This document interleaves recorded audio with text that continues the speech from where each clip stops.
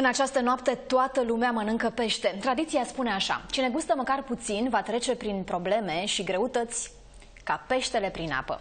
Pentru cei sătui de rețetele clasice și care vor să fie la modă și cu furculița în mână, există soluții.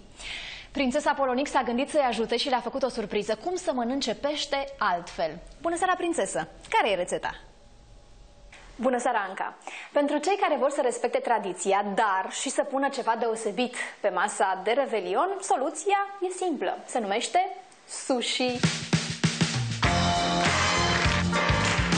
Pentru sushi avem nevoie de somon, tăiați cât mai subțire, orez special pentru sushi, îl găsiți în supermarket. Voi folosi astăzi castravete și avocado. Veți mai avea nevoie de oțet din orez, pastă de wasabi și um, aceste, să le spunem, hârtiuțe din alge, da? aceste covorașe din alge, numite nori. Avem orezul pregătit, gata fiert, în care vom adăuga oțet de orez, așezăm uh, hârtiuța de alge, pe deasupra vom pune orezul. Pasul al doilea este să punem somon și lângă somon vom pune și castravete, dar și puțin avocado. Voi folosi această folie și voi așeza invers bucata de nori pe care am pus orez.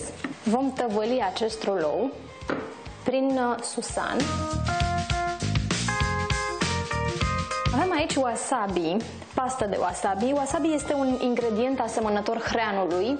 Um, este destul de iute, ar fi cam ingredientul cheie al acestui preparat. Voi pune foarte puțin wasabi pe fiecare bucățică de orez. A fost simplu, nu-i așa? O rețetă extrem, extrem de simplă.